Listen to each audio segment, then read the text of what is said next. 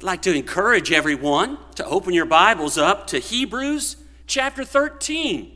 Hebrews chapter 13, and I want to share a, a lesson with us today that I've entitled The Same Yesterday, Today, and Forever. And of course, that's taken from Hebrews chapter 13 and, and verse 8. It's a statement that is made about our Savior, Jesus Christ. And we'll notice that as we study together. I certainly hope that you've had a good day. I hope that you've been able to do some of the things that you wanted to get done. And I'm glad that we have this opportunity to be back this evening and to be able to worship in spirit and in truth once more. I want you to know that I have really enjoyed our study on Sunday evenings of the book of Hebrews, and I hope that you have as well. When we started out, we made special mention of the fact that the author of this letter, this epistle, was really trying to fortify the faith of his readers. He's trying to encourage them to revive their faith. And no matter what, don't fall away from Christ. Don't go back to the world. Don't go back to paganism and idolatry. And certainly go, don't go back to Judaism. You hold to Christ because it's the only way to heaven. And everything about Christianity is far better. Better sacrifice, better covenant, better high priest. Everything is better. The next time you read through the book of Hebrews, Pay special attention to that word, better. Notice how many times it's used and see what's being spoken of.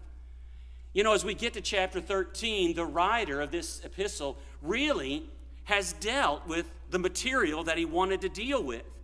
And so, in this final chapter, he's going to share some closing instructions and, and admonition. Much like we see in other letters that we read throughout the New Testament. Just a few things to encourage his fellow Christians in living the Christian life. And so, with that in mind, let's look at what we find here in this final chapter of Hebrews, chapter 13. Verse 1, he says, Let brotherly love continue. Notice, he doesn't say you need to start loving one another. They were already doing that. But brotherly love is something that just needs to continue to grow, that we always have to be working on, that we can improve in. And so he reminds them you let this continue.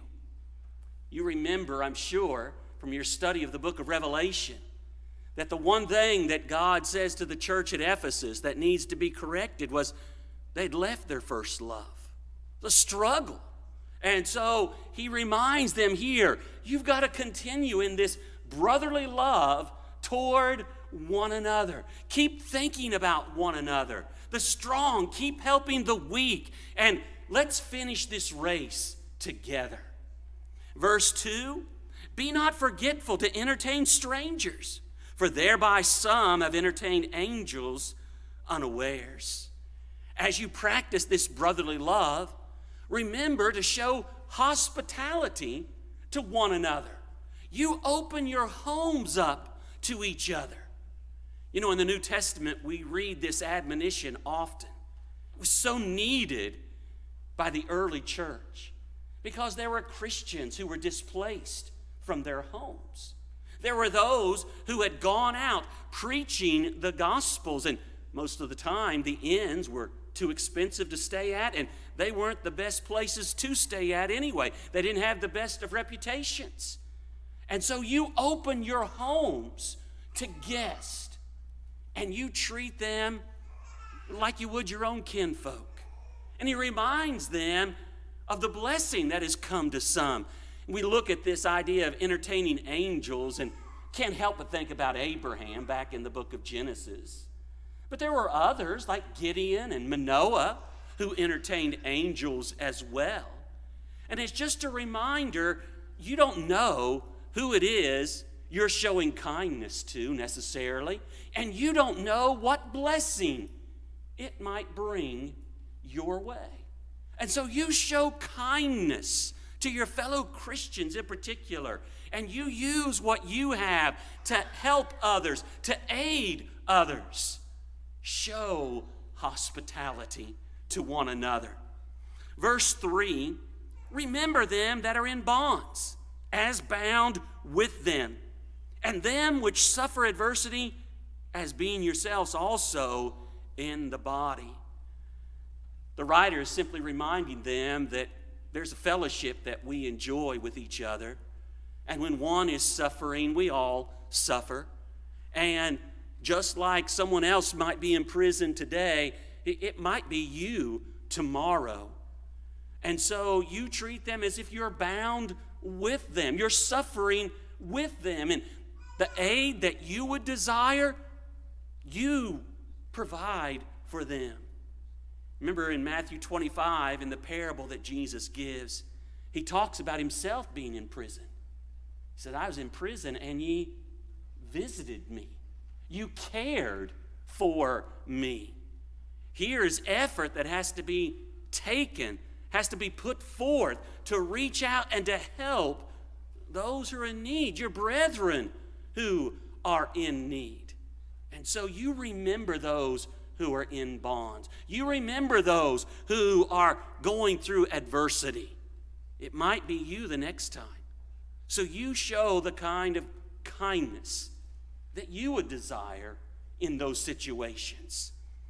He moves on in verse 4, verse 4 and 5, really, and reminds us of a couple of, of sinful activities that we've got to be on guard against that really show a high level of, of selfishness. And certainly we all can be tempted by these things. And so he reminds them marriage is honorable in all, and the bed undefiled, but whoremongers and adulterers God will judge.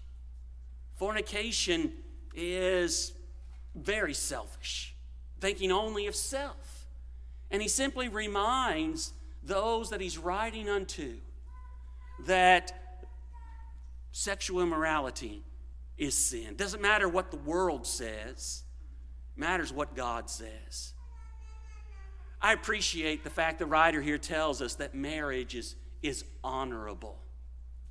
There's one place for that physical intimacy to be approved by God, and that is in the marriage relationship. Outside of that marriage relationship, it's simply sin. And again, we, we can think about the way the world looks at things people wanting to live together, or as long as we're consenting adults, it's okay. That's not going to make it appropriate to God, approved by God. Let's call it what it is, and that, that's sin. And, and much of the trouble that we have in our world is because people have forgotten what God calls sin.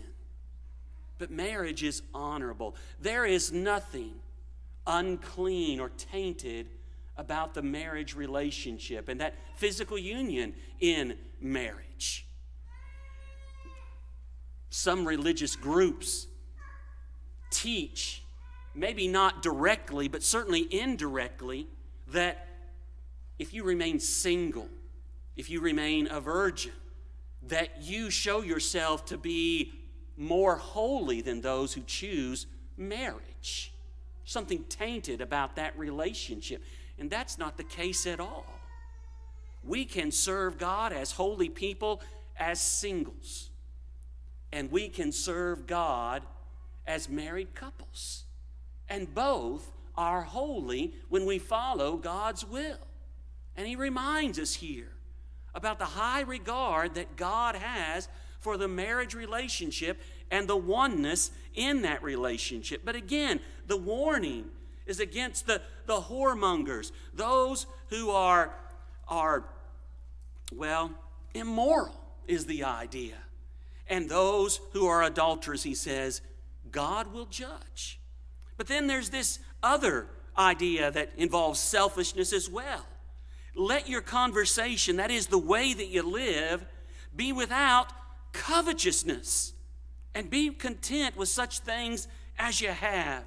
For he has said, I will never leave thee nor forsake thee, so that we may boldly say, The Lord is my helper, and I will not fear what man shall do unto me.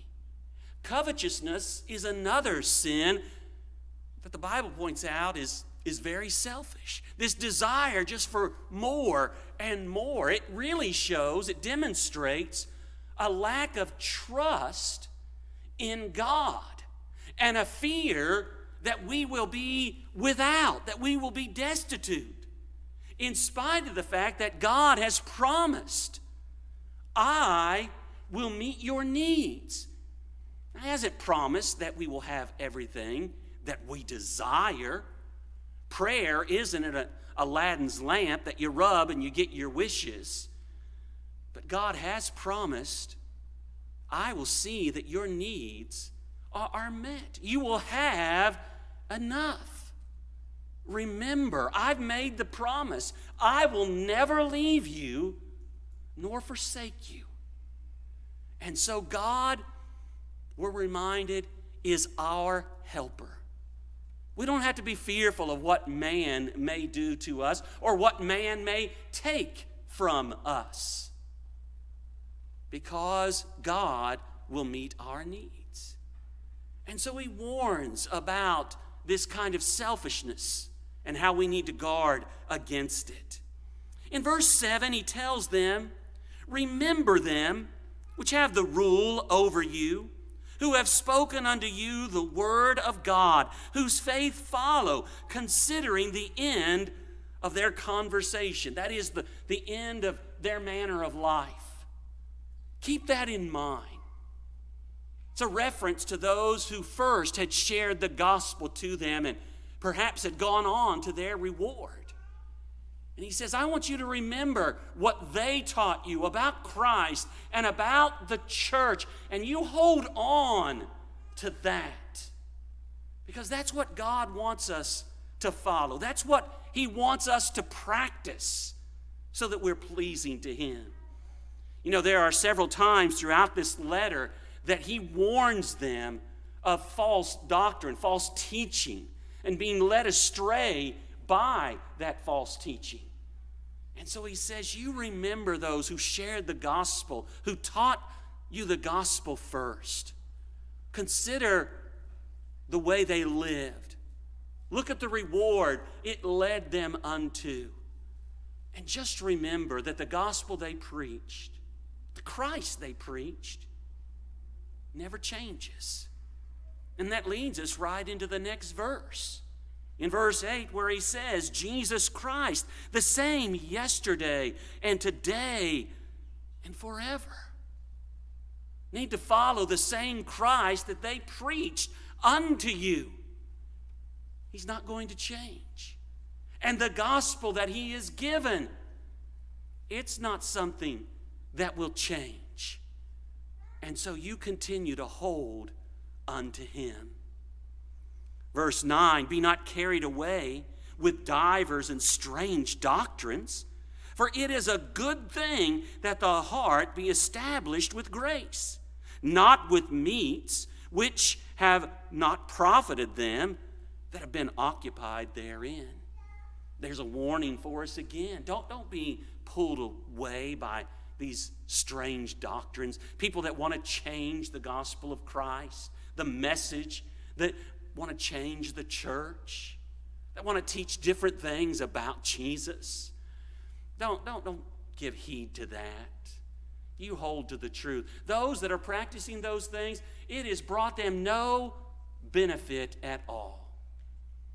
You know, the Apostle Paul in his teaching would explain when it came to the eating of different things, such as meats. He says it, it's not a profit if you abstain from it, and it's not a benefit if you eat it. That's not what the kingdom is about. But there were some who evidently were trying to make it about that. That could make you more holy if you ate a certain kind of diet or if you abstained from certain things. Certainly, Judaism had that dietary code connected with it.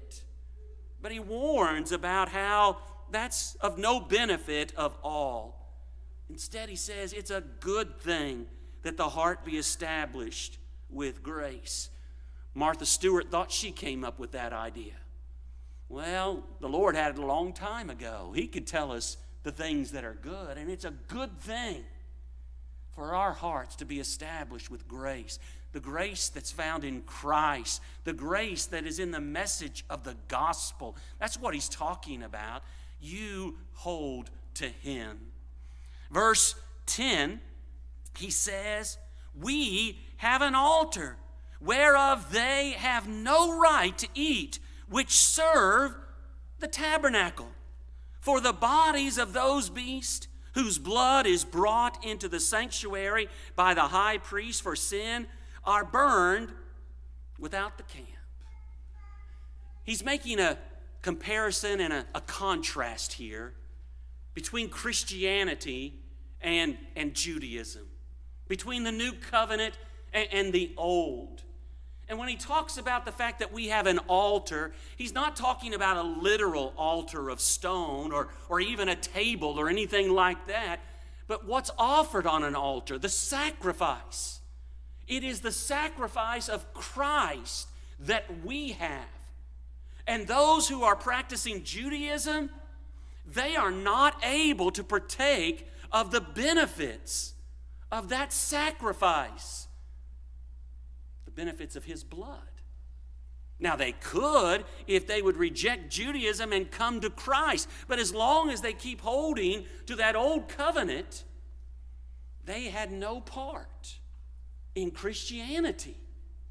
You see the contrast continuing there in verse 11, where he talks about, well, verse 10, those who serve at the tabernacle, the priests serve there, but all those who practice Judaism through the priest were included in this, that they had no part with the sacrifice that Christ has offered. In verse 11, when he mentions these animals that were sacrificed, that their bodies were taken outside the camp, it, it's a reference to what happened on the Day of Atonement. Normally, the, the bodies of animals were consumed upon the, the altars, but not on that day.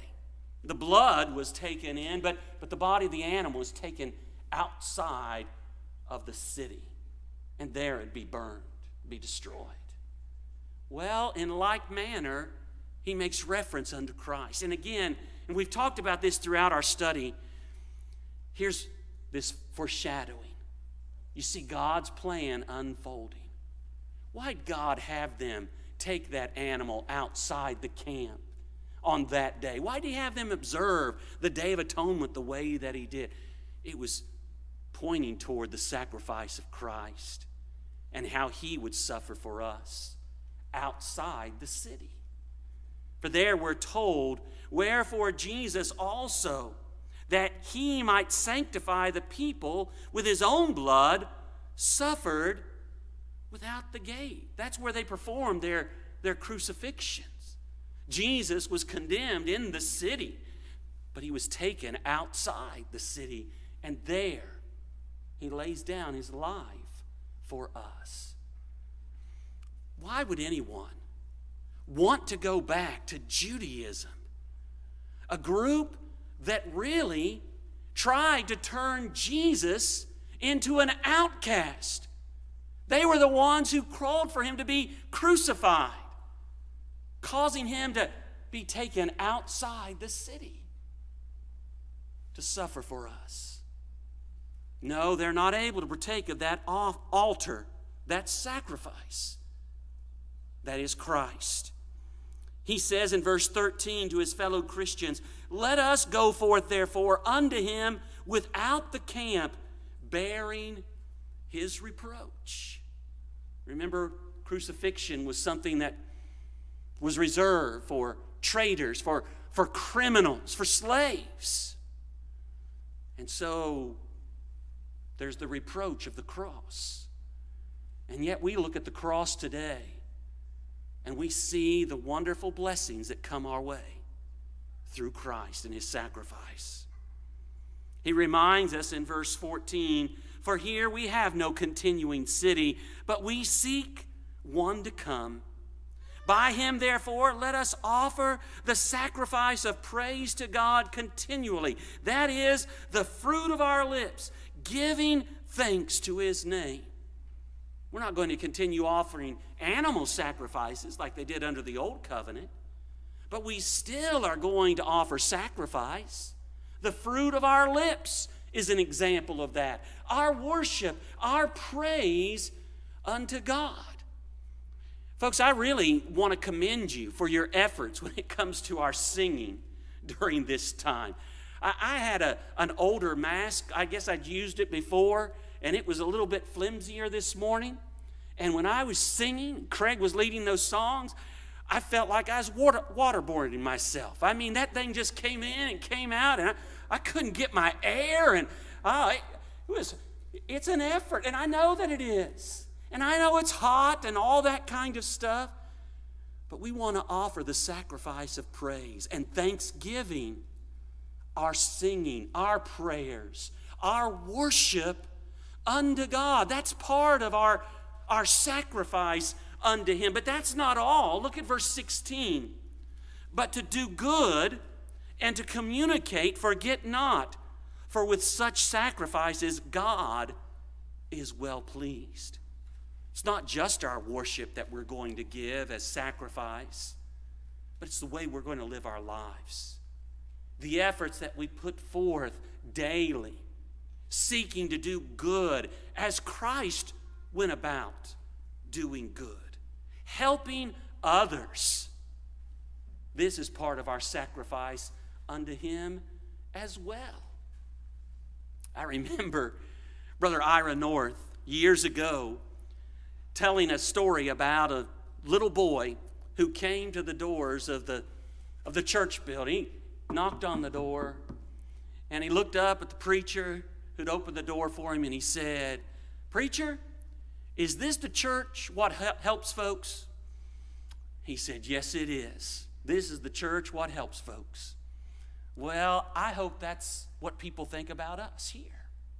And I'm not talking about just folks who come to the door of this building, but as we go out, we're the church. And we're going to be the church what helps folks. And we're going to do good. It's part of our sacrifice in our service to Christ. Not just our worship, but the way that we live in doing good. In verse 17, he gives this reminder Obey them that have the rule over you and submit yourselves for they watch for your souls as they that must give account, that they may do it with joy and not with grief, for that is unprofitable for you. Can't help but think about those who serve as elders when you read this passage, at least I can't. And it's simply a reminder. Maybe they were having some trouble, and he is trying to tell those who, who might be causing the difficulty to remember. Remember the, the role that they have and those who are serving as, as leaders over them, those who are watching for your soul. You, you submit to them. Now, that's not a rubber stamp that you obey whatever they say, no matter what. We know that our first commitment is to obey God always to obey God rather than men. But as they lead us, and their leading is in the way of God, it's according to His Word, not in violation of His Word, we have that responsibility to submit unto their rule, unto their authority, seeking to make their work a, a joy to them rather than a burden. In verse 18, he says, Pray for us, for we trust we have a good conscience, in all things willing to live honestly. He's really telling them everything that I've shared for you, I've shared with you, has been for your benefit. I'm trying to do what's right, trying to do what's helpful for you, for, for the Lord, for His church I want to help you get to heaven. And so everything has been in good conscience, it's been for your good. Verse 19, but I beseech you the rather to do this, that I may be restored to you the sooner. Wanted to be able to come and be with them. For some reason, we don't know what it was, we're not told. For some reason, he had been with them and then taken away, gone away, and he desired to come back. And so he says, Pray toward that end. Now, the God of peace that brought again from the dead our Lord Jesus, that great shepherd of the sheep, through the blood of the everlasting covenant. It was that blood of the new covenant. Jesus, the mediator of that new covenant through his blood. He says, Make you perfect in every good work to do his will, working in you that which is well pleasing in his sight, through Jesus Christ, to whom be glory forever and ever. Amen. He says, we want to do the will of God. We want good to be done through us. We want God's will, His work to be done through you. And so he prays in this way. And then he gives that amen. I remember when I was at New Philadelphia, a lady came up to me and said, Tim, what does amen mean? And I said, Well, it, it means so be it, or so it is. And she said, Oh, I told my son it means the end. well, she had to go back and explain it a little different. But so be it, or, or so it is, is the idea. And I beseech you, brethren, suffer the word of exhortation, for I have written a letter unto you in few words. Think about that for a moment. This is a book that has 13 chapters. And the writer says it's been in few words. When I was younger, I didn't think Hebrews was in a few words. Philippians, a few words, four chapters. Colossians, just four. Hebrews, 30, oh, that, that's, that's long. But you look at all that he had to share. It was just a few words. And I've come to learn something about this kind of thing, whether it's written word or the spoken word. If people want to hear, want to read, what's there then what you get, it's, it's few, few words. But if people really don't want to hear it, it doesn't matter how brief it is, it's too long. And I just wonder what's preaching to us? Is it too long or is it too short? Is the problem with the preacher? Maybe. I understand preachers can go too long. But sometimes the problem's not with the preacher. Sometimes it's with us as we listen. We may be, we may be done before He is. How much do we want it? You read the book of Hebrews, and it won't take you much over a half hour to read it. It's not a long book, not in comparison to a lot of the books that we're either asked to read in school or, or we read on our own. So, with just a few words, He's admonished them. Verse 23, he says, Know ye that our brother Timothy is set at liberty, with whom, if he comes shortly, I will see you. Here, here's the plan. Evidently, Timothy had been in prison, but he's released now, and he hopes to come with him shortly. Salute all them that have the rule over you, and all the saints. They of Italy salute you. Grace be with you all. Amen. And so closes the book of, of Hebrews, a letter written to encourage us to be faithful to the Lord. Let me, real quickly, share three thoughts from this chapter. Number one, let's remember the Lord is our helper. You go back to verses 5 and 6, and we're reminded that He has promised, I will never leave you nor forsake you.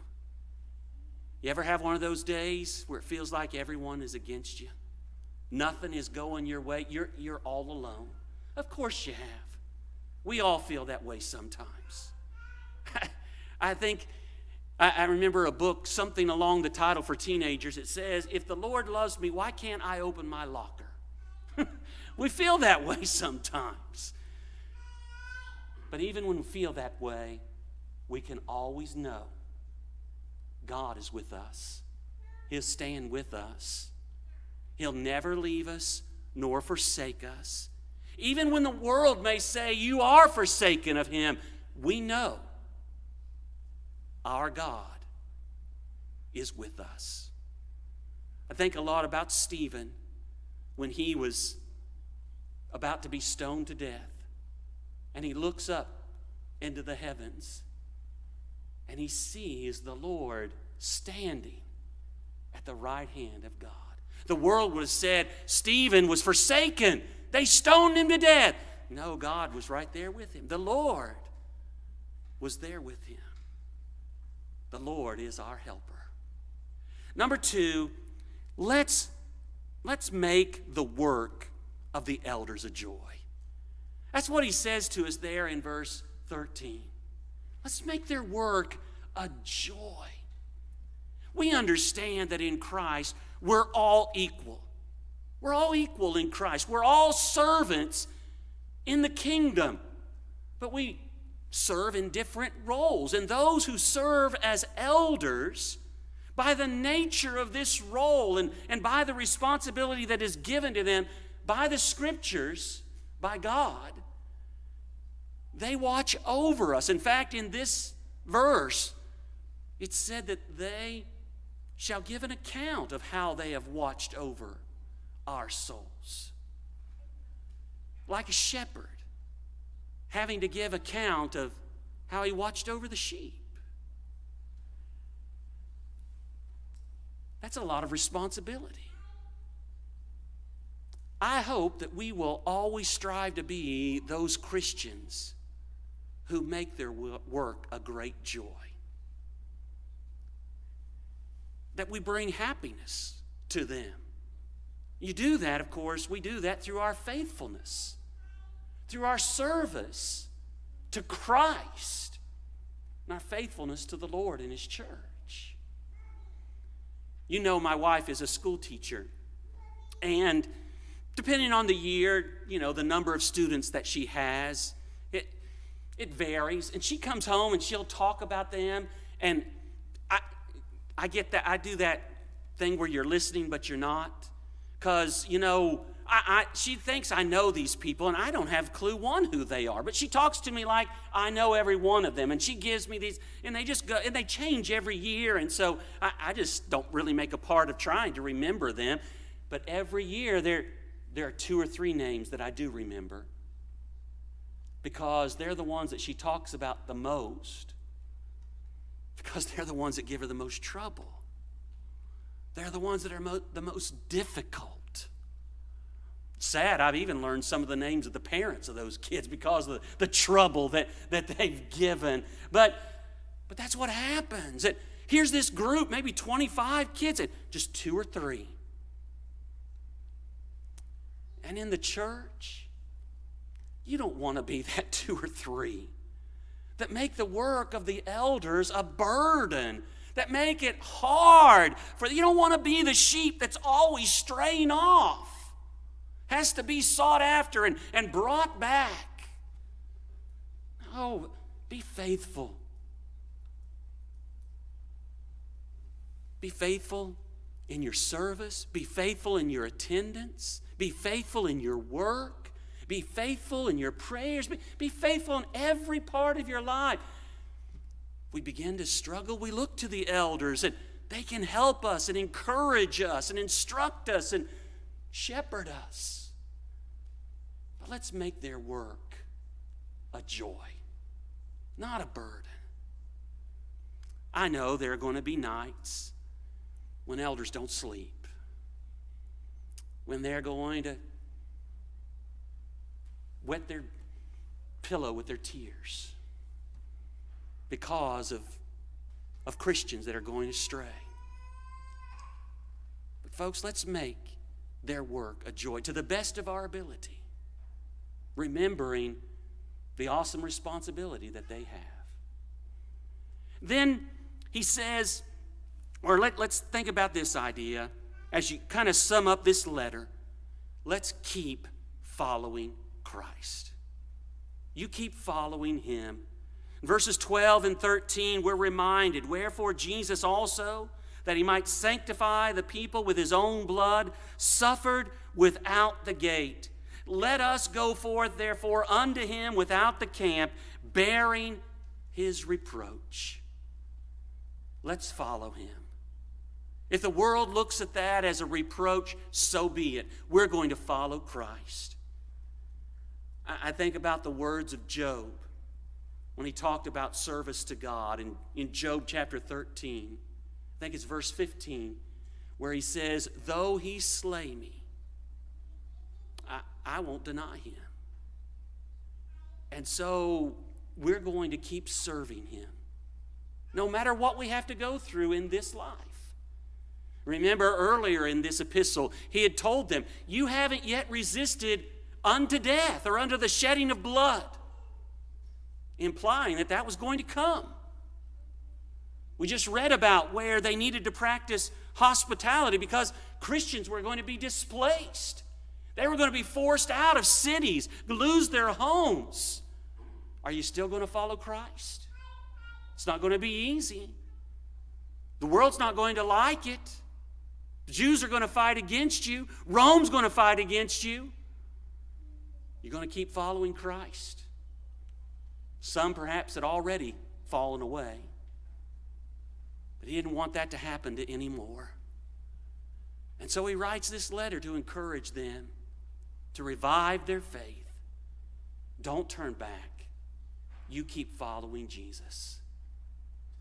We sing a song that in the chorus at the end simply says, I'll go with him.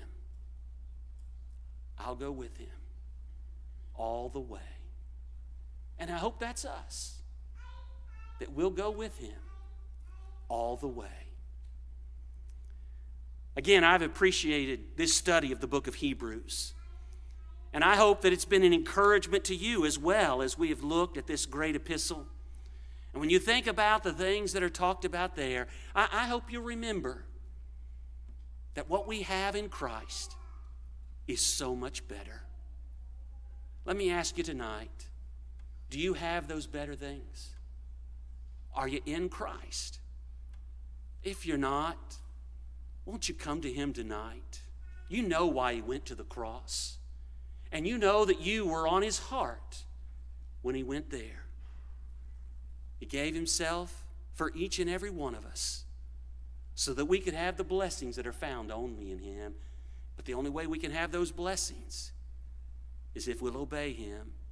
That final step, being baptized into Him for the forgiveness of your sins. And if that's your desire, we want to assist you tonight.